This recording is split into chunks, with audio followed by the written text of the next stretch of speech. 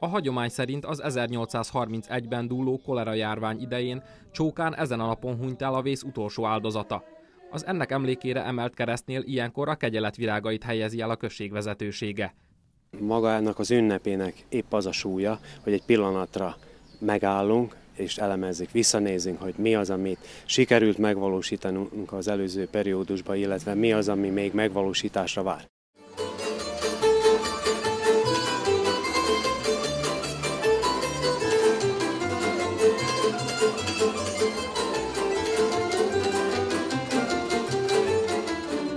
A délutáni programról a Csókai Művelődési és Oktatási Központ gondoskodott.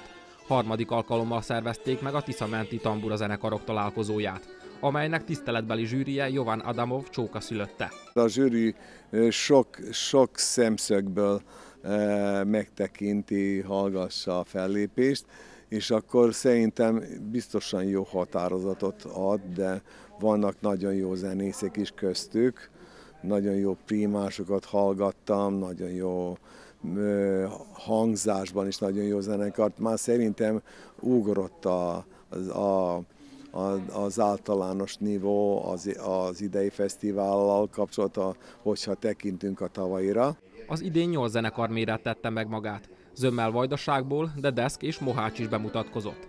Ez utóbbi zenekar bizonyult a legjobbnak.